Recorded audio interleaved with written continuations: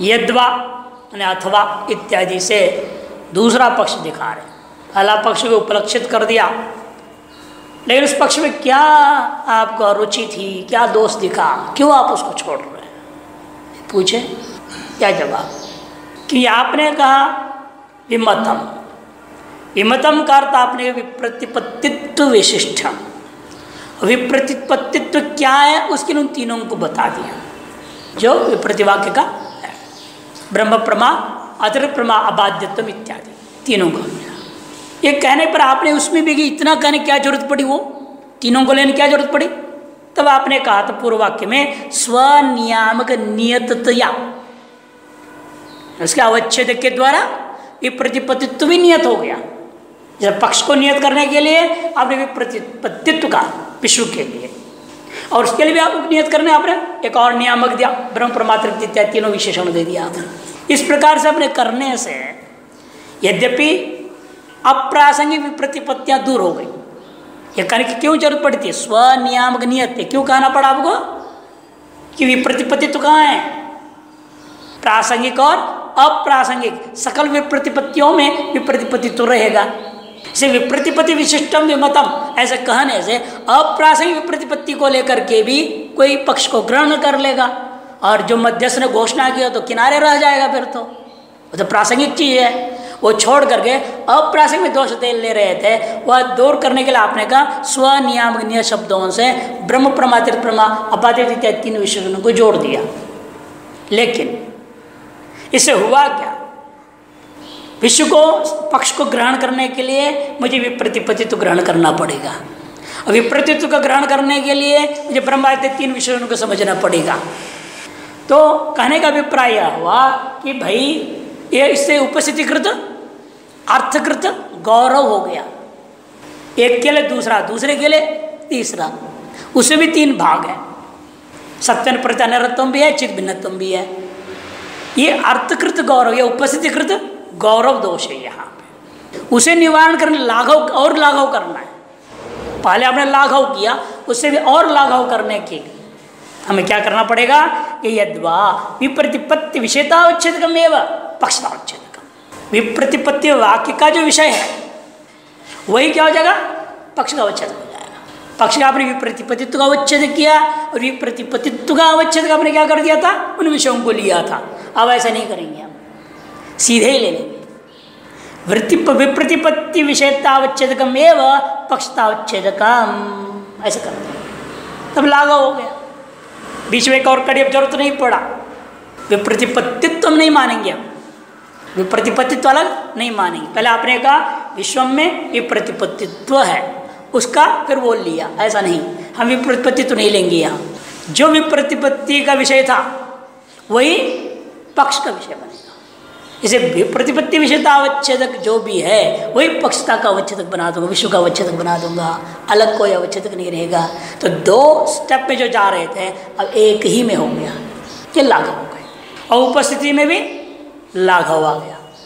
जिनका कारण आर्थिक गौरव के कारण विप्रतिपत्ति पक्षता का अवच्छेदक नहीं मान सकते थे तो उन्होंने कहा, ठीक है। तो विप्रतिपत्ति के विषयता अवच्छेदक ही हमको पक्षता अवच्छेद विप्रति के विषयता अवच्छेदक क्या था? तीन। वही सीधे पक्षता का अवच्छेदक हो गया। अब लाघव हो गया इसमें। ऐसे करने में अगर क्या प्रमाण है जी? कोई पूछेगा तो। ऐसा आपने कैसे कर दिया?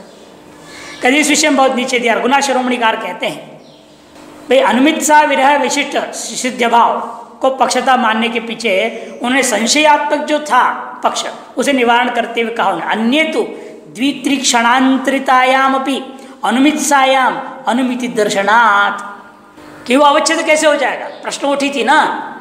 बीच क्या है? समय बंद आ गया है। वो अवच्छेद कैसे बनेगा? आप उपलक्षण से बना लूँगा।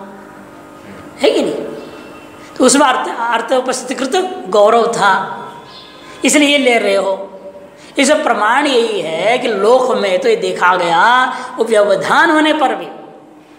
यदि अनुमति करने की इच्छा है पूर्वकालीन ज्ञान को लेकर के आप बाद में अनुमान कर सकते हैं। वही कह रहे हैं कि यन्य तो द्वित्रिक्षणांतरितायाम अपनी अनुमित अनुमित्सायाम अनुमिति करने की इच्छा यदि है तो अनुमिति दर्शनाद अनुमित सा योग्यता वाचा इसे अनुमित सा की योग्यता कहनी होगी।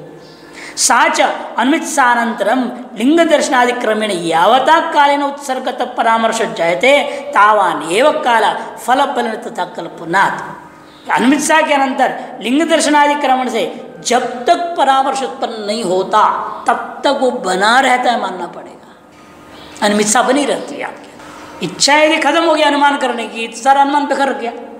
इच्छा तब तक बनी रहेगी, माननी पड़ेगी। कहते कैसे मानेंगे? इच्छा तो विशेष गुण है।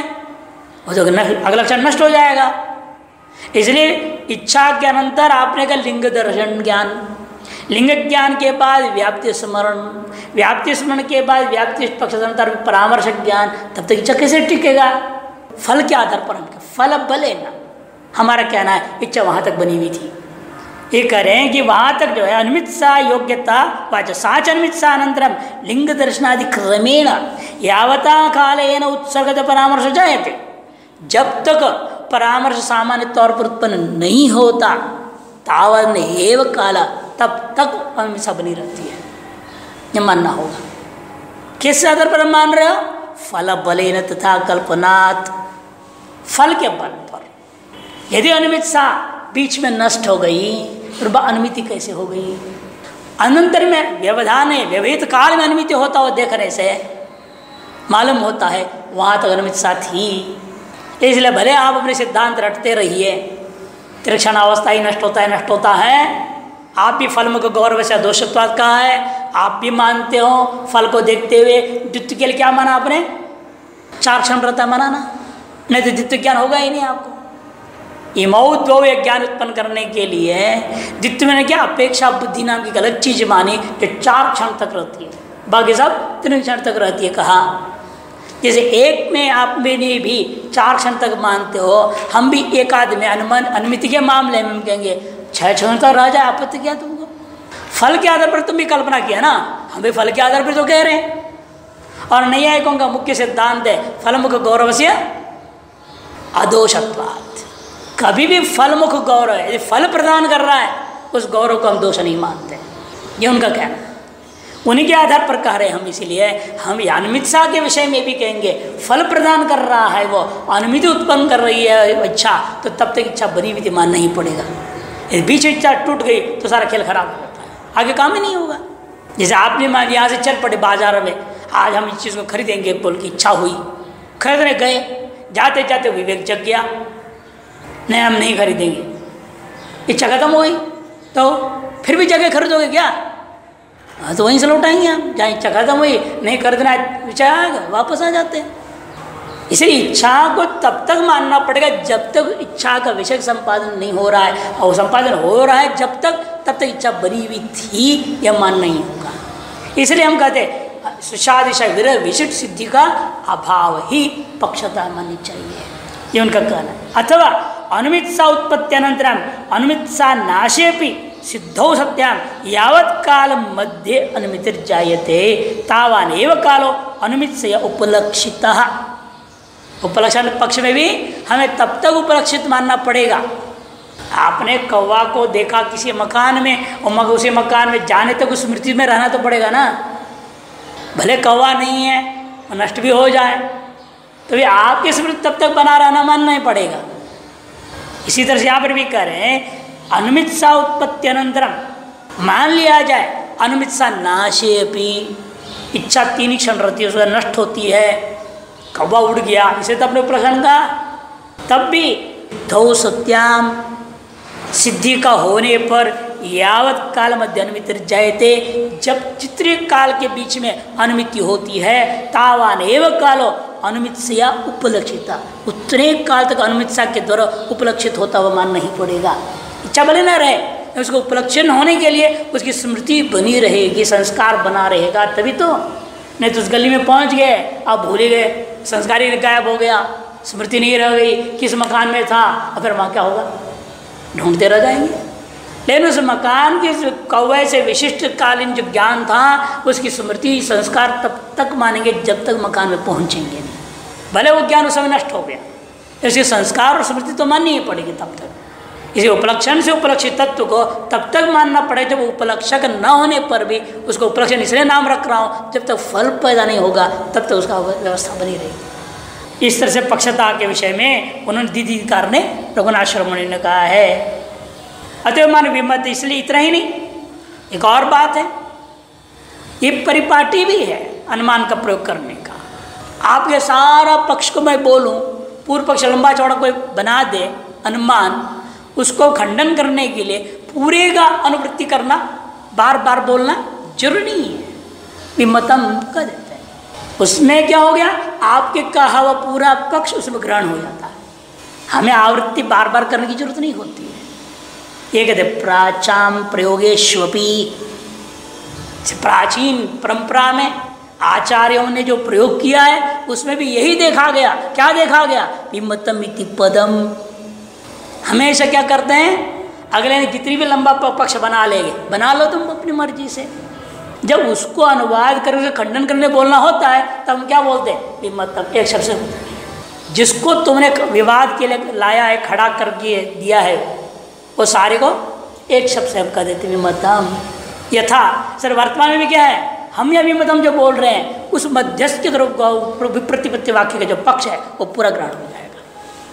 कहते विप्रतिपत्ति विषयतावच्छेद का अवच्छिन्न अभिप्रायण इति अदोषा। जैसे विमतम क्या चीज़ है यहाँ, हमारे मत में भी? विप्रतिपत्ति वाक्य का जो विषय है तद अवच्छेद का अवच्छिन्न हमारा यह पक्ष है। तो यहाँ कहा था ना विषयतावच्छेद जो है वही पक्षतावच्छेद। इसे विषयतावच्छेद का चिन्ह क्या कौन सा था ये प्रतिपत्ति वाक्य था वही हमारा यहाँ पक्ष है, अलग नहीं है। इसे परस्पर विरुद्ध हो गया उन्होंने इतना लंबा चौड़ा पक्ष बनाया, तुमने विभिन्न तुम कह दिया। विरोध है, ऐसे शुरुआत उन्होंने दोष दिया हम पे, तब दूर कर दिया क्योंकि विप्रतिपत्ति विषयता अवच्छेद का अवच्छिन्न अभिप्राय से ही विमतम ऐसे प्राचीन परंपरा में आचरण के प्रयोग होता हुआ भी देखा गया है। इसलिए विरुद्ध नहीं है हमारे कथन में। ठीक है, मान लिया भाई। अब आप बताइए, मिथ्यात्व का लक्षण क्या है? अब साध्य पर विचार, पक्ष पर विचार समाप्त हो। पक्ष पर संक्षिप्त विचार समाप्त हो गया। और साध्य पर विचार करेंगे। यहाँ पर आप देखेंगे, न्यायामृतकार ग्यारह लक्षण करते हैं। ग्यारह लक्षण। ग्यारह में से अद्वैत उन्होंने स्वयं सब खंडन कर ही दिए हैं। उसमें हमें स्वीकार भी नहीं था। इसलिए मसूदनीकार अद्वैत सिद्धिकार क्या करते हैं? पाँच उसमें से लेते हैं। पाँच के आधार पर हम अपना अद्वैत को सिद्ध कर हैं बाकी छः आपने खंडन कर दिया, हमें भी इष्ट नहीं है। उस पर क्या चर्चा करना? इसे छोड़ देते हैं उसको उन पाँच में कौन से कौन से ले रहे हैं? उसके भी एक श्लोक बताया प्राचीनों ने। आद्यम पंचपाद्युक्त ततो विवरणोदिते, चित सुखीय चतुर्थ सियाद अंत्यम आनंद बोधकम नहीं है श्लोक उसमें हम ऊपर से लिखे हैं। आद्यम पंचपाद्युक्तम पंचपादिका कार के द्वारा कावा को पहला लक्षण रूप यहाँ विचार करें। उन ग्यारह में से उन्होंने ली है, वो उनमें से हम उसको ले रहे हैं दूसरा, ततो विवरणोदिते, दो लेंगे, विवरणकार का दो। दूसरा और तीसरा जो लक्षण है यहाँ, वो विवरणकार का है। इसे उदित्य द्विवचन प्रयोग करें, उदितम नहीं कहा। विवरणोदित्य द्वे द्वितीय और तृतीय। इसे चित सुखीयम चतुर्थम चित सुखाचार्य चित सुखी में बोले हैं, वो मिथ्या का लक्षण यहाँ लेंगे चौथे में। स्यादंत्यम आनंद बोधकम आनंद बोधकाचार्य जी ने जो कहा है, उसको हम पाँचवें में रख करके विचार करेंगे। सद व्यतिरिक्त तुम उनका कहना है, वो अंत में ले लेंगे। तो ग्यारह में से पाँच सिद्धांत के लिए स्वीकार है, उन्हीं को पाँचों पर इसलिए विचार, उसी के द्वारा अद्वैत को सिद्ध कर देंगे मिथ्यात्व के लक्षण बताएँगे। उच्चत इत्यादि। न्यायमृतकार ने भी उच्चते से मिथ्यात्म ही त्वयव पक्षांतर इत्यादि करके दे रहे उन्हीं को यहाँ पर ले रहे देखो, ननो, किमिद मिथ्यात्म साध्यते? अद्वैत सिद्धिकार पृष्ठ संख्या चौदह में ही है सीधा। बीच सब वो आपका न्यायामृत है। ये पूरा बारह पृष्ठ संख्या आप देख रहे हैं, पूरी की पूरी पृष्ठ में। और तेरहवीं पूरा पृष्ठ सब न्यायामृत का है यहाँ से अब अद्वैत सिद्धि आरंभ होता है। मैंने किमिद मिथ्यात्व साध्यत? आप जो साध्य कर रहे मिथ्यात्व, क्या है ये? समझाइए। पक्ष को तो हमने समझा दिया। निम्नतम शब्द का निर्णय हो गया। लघुभूत है। जो विप्रति वाक्य विषयता विषयतावच्छेदे नहीं। हम पक्षतावच्छेदक बना लेंगे तब अवच्छिन्न पक्ष सीधा हो जाता है लाघव लाघव हो गया है, ठीक है। लेकिन अब साध्य बताओ, मिथ्यात्व आपने कह दिया। उन्होंने तो कुछ और ही बताया थे प्रतिवृत्ति वाक्य में। और उसको आपने एक शब्द से कह दिया है, मान भी लूँगा।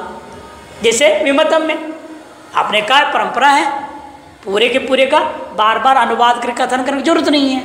उसको हम एक शब्द से भी संकेत से कह सकते हैं। जैसे आपने पूरे साध्य को मान लिया जाए, एक मिथ्या सबसे कह रहे हो तो भी मैं पूछूँगा, उस मिथ्यात्व को वास्तव में आप क्या लक्षण मानते हैं? जो भी प्रतिपत्ति में कहा गया, उसी को स्वीकार करते हो, या उसे भिन्न कुछ बोलना चाहते हो? पूछे। आपने वहाँ दो बात कही, प्रतिपन्नोपाध हो अत्यंत अप्रचोगित्व अथवा परमार्थ आकार आकार रहित होकर के जो प्रतिपन्नोपाधि में अत्यंत भाव का प्रतियोगी है। यह आपने दो बात कही थी। क्या उसको यथावत स्वीकार करेंगे? कुछ और से विचार करेंगे आप। कहते, वो है। इन एक पक्ष है केवल वो। हमारे पाँच हमें स्वीकार है। लक्षण अलग अलग कौन से कौन से, कैसे बता रहे देखिए। न तावत पहले उन्हीं का अनुवाद करेंगे। न्यायमृतकार ने जो कहा है, इतना विस्तार, उसको संक्षेप में बताएँगे अद्वैत सिद्धिकार। वो खंडन कैसे किया हमारा लक्षण का? न तद मिथ्या शब्द अनिर्वचनिता वचन इति पंचपादिका वचनात् सदसत्वाधिकरण रूप अनिर्वाच्यत्व नतावत। उन्होंने क्या कहा? मिथ्या शब्द का अर्थ अनिर्वचनीय मिथ्या। या अनिर्वचनीय? सा मिथ्या जो अनिर्वचनीय है, वो मिथ्या है। अरे अनिर्वचनीय क्या है? आप क्या तो अप्रमेयम। है ना? अवाच्य है वो। कौन? ब्रह्म। अनिर्वाच्य दर्शन, वहाँ चला जाएगा फिर। तब उन्होंने व्याख्या किया सद सत अनधिकरण तुम सद सत का जो अनधिकरण है, वो अनिर्वचनीयता है और उसको मिथ्या का लक्षण, वो अनिर्वचनीय का लक्षण को मिथ्या का लक्षण मानते हैं। अर्थात सीधे सीधे कहो सद सद अधिकरणत्व मिथ्यात्व। जो सदसद का अधिकरण नहीं होता है, वो मिथ्या है। कहते हैं, इसका अर्थ क्या है जी? तो और उलझा दिया आपने। सद सद का जो अनधिकरण। यहाँ हमें समास तो अनेक हो जाएँगे यहाँ। सत चयद तदेव असद इति सदसत कर्मधार समास। तस्य अनधिकरण इति ससद अधिकरण यह अर्थ करना चाहते हैं। यह द्वंद समास करेंगे। सच्च असच्छ इति सदसते। ऐसे दो ले लो द्वंद समास।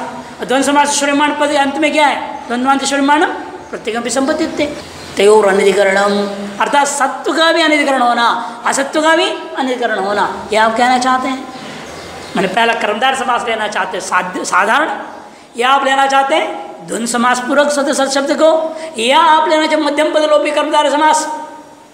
सद अनधिकरणत्व सद अनधिकरणत्व यद तदेव असद अभावत्व असद अभावत्व वहाँ पर क्या है? सद अनधिकरणत्म जो अनधिकरण शब्द अवलोप हो जाएगा। सद असद अनधिकरणत्म रह जाएगा। उत्तर वाला असर रहेगा असद अनधिकरणत्म रहेगा। वो लोप होगा नहीं। इन सद अनधिकरणत्म या तद असद अनधिकरणत्म अपनेगा उसे मध्यम पद जो था अनधिकरणत्म लोप हो जाएगा। सद सदधिकरणत्म वाक्य बन जाएगा। समास। मैंने मध्यम पद लोपी कर्मधारे समास। पहले में केवल कर्मधारे साधारण था, और उसमें क्या सत्व विशिष्ट असत्व का अनधिकरण होना सिद्धार्थ हो जा रहा था। वो इष्ट नहीं है। या ध्वन समास करना, जो सद अनिधिकरण है और जो असत का भी अनिधिकरण है, उसका नाम मिथ्या है। ये तीसरा पक्ष है, भाई जो सत का अनिधिकरण होता हुआ, जो असत का भी अनिधिकरण है। अनिधिकरण दोनों जोड़ा भी पहले वाले कर्मचारी में विशेषण में अनिधिकरण शब्द नहीं था, केवल विशेष में था। और अब यहाँ क्या हो गया? विशेषण, विशेष दोनों में अनिधिकरण शब्द आ गया। ये अंतर है दोनों। और वहाँ भी दोनों में आ रहा है द्वंद समास में द्वंद समास में कर है, दोनों में अनिकरण आ रहा है, कि द्वंद्व श्रीमान पदम प्रतिगम संबंधित थे लेकिन अंतर क्या फिर वहाँ और यहाँ में? उसमें अंतर है, दोनों प्रधान है वहाँ। और यहाँ क्या हो गया? विशेषण है। सद अनिकरण तो विशेषण हो जाता है। असद अनिकरण तो विशेषी हो जाता है। कब? मध्यम पदलोपी कर्मधार समास करोगे तो। तीन समास के पक्ष में। पहला सत्य विशिष्ट सत्व अनधिकरण, दूसरा सत अधिकरण रूपा असद अनधिकरणत्व, दोनों प्रधान हैं। तीसरे में सद अनधिकरणत्व विशिष्ट असद अधिकरणत्व रूपी विशेषण है वो। कौन से पक्ष आप मानना चाहेंगे इन तीनों में? वो तीनों में दोष दिखाएगा, हम फिर समाधान करेंगे, उसके बाद यहाँ पर। ये देखिए, तद्धि, किम? सत्व विशिष्ट असत्ता भाव यहाँ अशुद्धि छपी हमारे यहाँ। हाँ अ को काट दीजिए। सत्व विशिष्ट असत्व, वहाँ दिल कर देना, यदि नहीं है तो। असत्वाभाव। सत्व से विशिष्ट असत्व का अभावाधिकरणम। ये लेना चाहते हो आप? कर्मधारे समाज, सीधा सीधा। केवल सत्व से विशिष्ट कर दे सत्व विशेषण हो गया असत्व का। और उस असत्व का अत्यंत भावाधिकरण लेना हमने उत्तर सत्वत्यंता भाव असत्वत्यंता भाव रूपम धर्म द्वयम देखो। धर्म, द्वय, दोनों प्रधान। ऐसा जो है, उसका नाम मिथ्या है। आहो से तीसरा सत्वत्यंता भावत्व सती। देखो, विशिष्ट कर दिया अभी। दोनों अलग अलग प्रधानता नहीं है। सती असत्वत्यंत भाव रूपम विशिष्टम ऐसा लेना चाहते हो। तीन पक्ष है। न नाद्य सत्व मात्राधारे जगति, असत्व विशिष्ट सत्व रूपगमात विशिष्टा भाव साधने सिद्ध साधना। विशिष्टा भाव सिद्ध करने में सिद्ध शांता दोष है कि सत्व मात्राधारे जगति जगत कैसा है उनके मत में? व्यावहारिक जगत। हम जिस प्राचिक रजत को, व्यावहारिक रजत को सबको मिथ्या मानते हैं, वो अंतर करता क्या? व्यावहारिक जगत सत्य है, किंतु प्रातिभाषिक जगत अलीक असत्य है। पहले आया था बात। और जगत का प्रातिभाषिक जगत रजत दृष्टांत को लेकर उसने कहा था, सिद्धांत दोष दी थी। वो था वो प्रातिभाषिक रजत या प्रातिभाषिक जगत को लेकर। वो उनके मत में अलीक है। व्यावहारिक जगत उनके लिए सत्य है, सत्य मानते वैष्णवी माया से निष्पन्न है। जब विष्णु सत्य है, उससे अभिन्न वैष्णवी माया सत्य है, उसका कार्य रूप होने से जगत भी सत्य है। सत्कार्यवादी है इसे हम जिसको व्यावहारिक जगत को हम क्या मानते हैं लेकिन? हम सत्य नहीं मानते, हम इसे भी मिथ्या मानते हैं। प्रतिभाषी को भी मिथ्या मानते हैं। हमारे लिए दोनों मिथ्या है। उनके मत में ऐसा नहीं दोनों का दो अलग अलग रूप माना उन्होंने। प्रातिभाषिक जगत को मानते हैं क्या सत्य, और व्यावहारिक जगत को मानते हैं, सत्य। वो कहता हमारे जगत में, व्यावहारिक जगत में, कैसा है वो? सदा सन मात्र आधार है। सत्व मात्र का आधार मानते हैं। वह लक्षण हो मात्रेण शत्रु प्रतीति और है सत्य प्रतीति रत्वम है, इसीलिए। सत्व मात्र का आधार हम जानते इसे कहते सत्व मात्र आधार है जगती असत्व विशिष्ट सत्व का अनुपयुगमात। विशेषणा भाव है विशिष्टा भाव विशेषा भाव है विशिष्टा भाव उभया भाव है विशिष्टा भाव होता है। आपने विशिष्ट कर दिया ना, सत्व विशिष्ट असत्व का अनधिकरण, ये हमारे जगत में है। क्योंकि उसमें असत्व नहीं है ना। सत्व रहने पर भी असत्व तो है नहीं।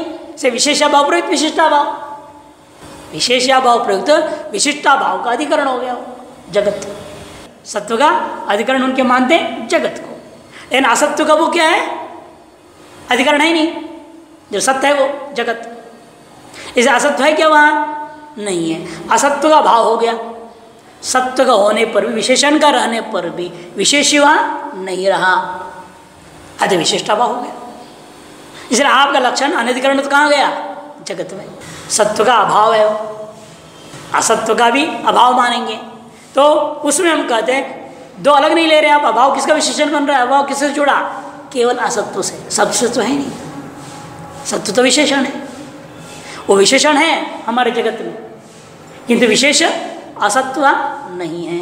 असत्व अभाव का अधिकरण, मैंने असत्व का अनधिकरण सत्व विशिष्ट असत्व का अनधिकरण आ गया जगत में, से शांत दोष हो गया। यह उनका कहना जगत ही असत्य विशिष्ट सत्व का अनुपगमात विपरीत बोल सकते सत्य विशिष्ट असत्व, या असत्य विशिष्ट सत्व का हम स्वीकार करते हैं ही नहीं। हम सत्य मानते हैं, लेकिन असत्य विशिष्ट सत्य नहीं मानते ना हम। असत्य विशिष्ट सत्य हम नहीं मानते जगत को। सत्य मान रहे हैं हम। इसे क्या होगा? विशेष असत्व नहीं है। यदि असत्व को पहले रखूँगा तो असत्व विशेषण हो जाएगा तो विशेषण भाव प्रयुक्त विशिष्टा भाव कहा जाएगा। यदि असत्व को बाद में बोलूँगा तो विशेष भाव प्रयुक्त विशिष्टा भाव हो जाएगा। जैसे दंडी दृष्टांत समझाते ना लोग इसीलिए विशिष्टा भाव को दंडी नहीं है। आपने कह दिया। भाई आदमी बैठा हुआ है। दंड नहीं है उसके हाथ में। तो आप कहेंगे, दंडी नहीं है। और कमरे में डंडा पड़ा है। दंड है वहाँ। आदमी गायब। तब भी आप कहेंगे, दंडी नहीं है। और दंड और पुरुष दोनों नहीं है। तब भी आप कहेंगे, दंडी नहीं है। पहले में विशेषण अभाव है। दंड का भाव है। पुरुष बैठा हुआ है। तो दंडी नहीं, व्यवहार हो गया। दूसरों में दंड है, विशेषण है, विशेष्य नहीं है, पुरुष, तब भी दंडी नहीं है। तीसरा, दंड और पुरुष दोनों नहीं है, तब भी दंडी नहीं है। ये लोक में देखा गया। इसे विशिष्ट में समस्या होती है हमेशा ही। विशेषण का भी होना चाहिए, विशेषी भी होना चाहिए, तभी विशिष्ट रहेगा। इनमें से एक भी नहीं रहा तो विशिष्ट नहीं है, और दोनों नहीं रहा तो कहना है क्या विशिष्ट रहेगा ही नहीं। और यहाँ क्या हो रहा है आपका? सत्व तो हमारे जगत में है, किंतु असत्व नहीं है। से सत्व विशिष्ट असत्व का अभाव आगे कि नहीं?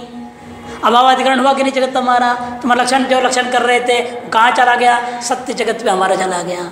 कर रहे थे आप? मिथ्या जगत का लक्षण। चला गया सत्य जगत में। ये कह रहे हो। कि विशिष्ट सत्व अनभिगुमात विशिष्टा भाव साधने सिद्ध साधनात् और विशिष्टा भाव को सिद्ध करने के लिए तुम प्रयास कर रहे हो तो सिद्धांत दोष आ गया।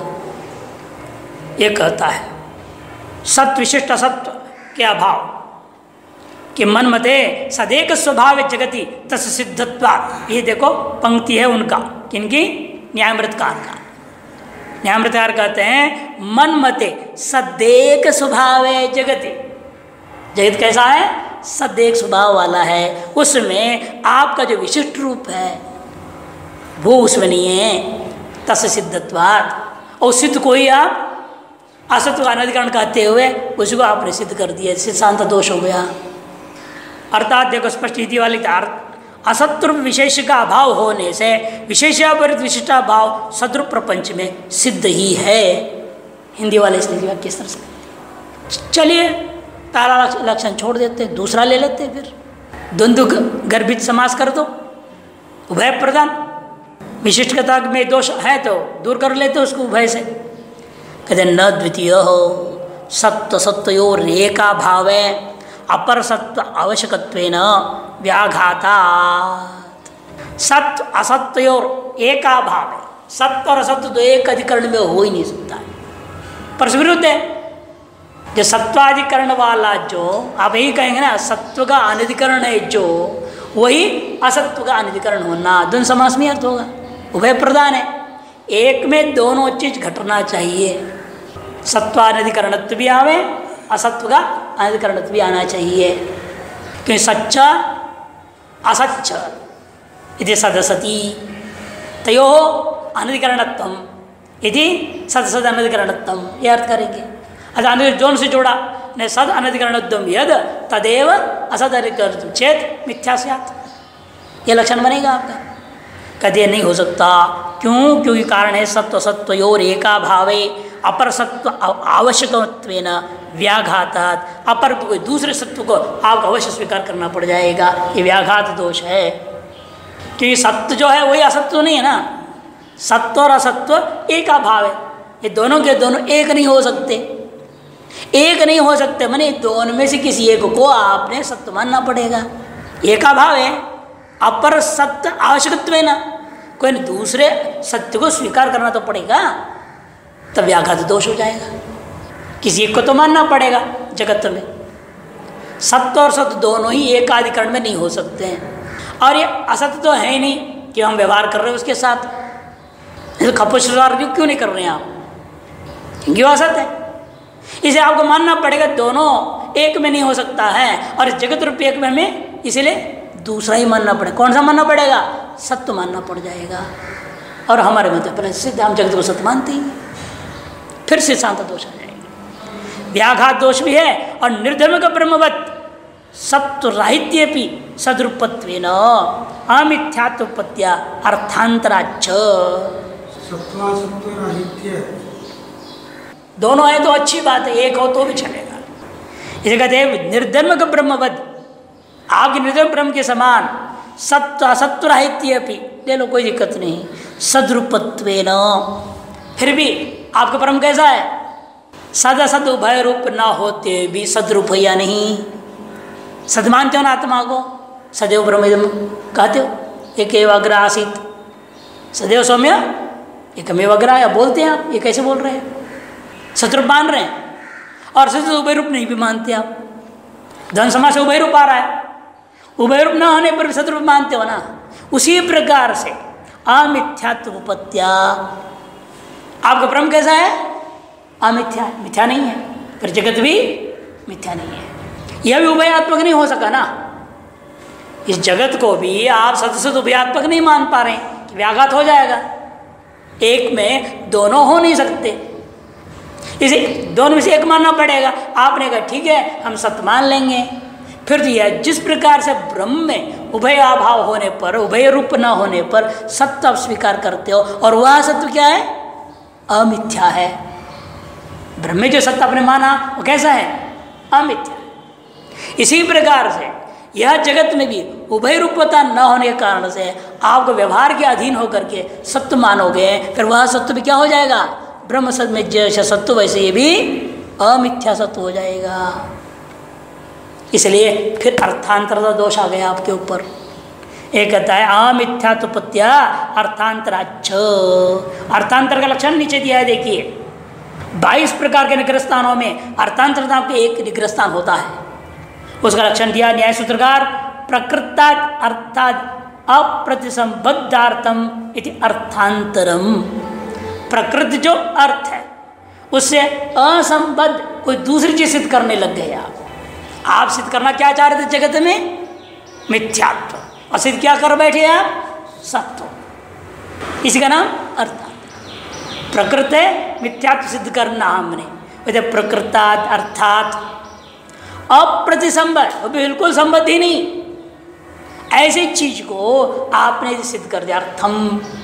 ऐसा अर्थ को सिद्ध कर रहे हैं। तो उसका नाम अर्थंतरता होता है। यह आप पर दोष आ गया। दो दोष दिए दूसरे में। एक तो व्याघात माननी पड़ेगी स्वीकार करो दोनों में एक में। सदस्य दोनों को एक में मान लोगे, फिर व्याघात हो जाएगा। और नहीं माँ, इसलिए आप व्याघात से बचने के लिए आप सब तो स्वीकार कर देते हो अर्थांतर तो दोष आ जाएगा। यह आपत्ति है। इस प्रकार शास्त्रार्थ में दूसरे लक्षण को लेकर भी आप परास्त हो गए। शुक्ति रुपये। अबाध्यत्व रूप सत्व व्यतिरेक सत्व बाध्यत्व रूप असत्व से व्यतिरेक असिध्या साध्य वैकल्याच और प्रातिभाषिक रजत में तुम्हारा लक्षण जाएगा नहीं। मिथ्यात्व का प्रातिभाषिक रजत शुक्ति रुपये, प्रातिभाषिक रजत में। आपका लक्षण क्यों नहीं जा रहा है? कि अबाध्यत्व रूप सत्व व्यतिरेक सत्व क्या है? अबाध्यत्व रूप होता है। उसमें है ना बाध्यत्व है ना वो? इसे अबाध्यत्व रूपा सत्व भिन्नत्व आया गया उसमें? नहीं आ रहा है। क्या अबाध्यत्व रूपा सत्व वहाँ रजत में नहीं है। कि रजत कैसा है? बाध्यत्व रूपा सत्व उसमें। अबाध्यत्व रूप सत्व से व्यतिरेक सत्व वो आ गया किसमें? रजत में। बाध्यत्व रूपा सत्व से व्यतिरेक सिद्धिया असत्व क्या है? बाध्यत्व रूपा। बाध्यत्व असत्व का अभाव भी आना चाहिए? दोनों का अभाव आना चाहिए ना। फिर वो नहीं आ रहा है वहाँ पर। वो वहाँ नहीं आया। तो बाध्यत्व रूप असत्व से व्यतिरेक असिद्ध्या, साध्य वैकल्या आप ही के दृष्टांत में साध्य का अभाव हो गया। वह हेतु बैठा है। तो आपका हेतु क्या हो गया? आप ही के दृष्टांत में व्यभिचारी हो रहा है। दृश्यत्वात हेतु। क्योंकि आपने शुक्ति रजु का दृष्टांत बनाया। और दृष्टांत हमने से क्या सिद्ध किया? आप जिसको सपक्ष मान रहे थे, हमने सिद्ध किया, वो विपक्ष है। साध्या भावाधिकरण हो गया। और वह हेतु आपका दृश्य तो बैठा हुआ है। तो आप ही के दृष्टांत में आपका हेतु व्यभिचारी हो रहा है। दृष्टांत सिद्धि दोष भी है, व्यभिचार दोष भी है। ये आपत्ति दिया। इस प्रकार से तीन दोष, व्याघात, अर्थांतरता और साध्य वैकल्य होने से वे विचार दृष्टांत सिद्धि। साध्य का भाव हो गया दृष्टांत में। तो दृष्टांत सिद्ध हो गया आपका। दृष्टांत सिद्ध होकर के वो हमारे विपक्ष बन गया और वहाँ हेतु बैठ के जाने से वे विचार भी हो गया नियम है एक ही में अनेक दोष दिया जा सकता है। हितोपास में कोई दिक्कत नहीं है। जितनी हो सकती उतनी दोष दे दो। इसे इस दोष से ग्रस्त हो गया अतएव, इसीलिए ही न तृतीय। हो